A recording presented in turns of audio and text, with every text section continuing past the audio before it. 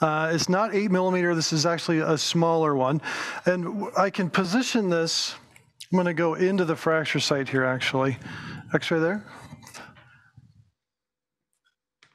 X-ray there.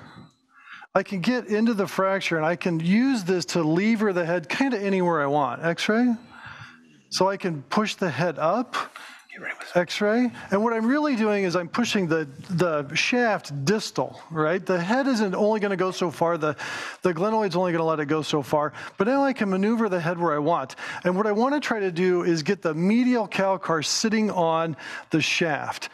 Once I have it sitting there, I have a little too much valgus. I can push that back out, x-ray. X-ray there. And I can essentially set this wherever I want. So there, I, it's actually sitting on the inside.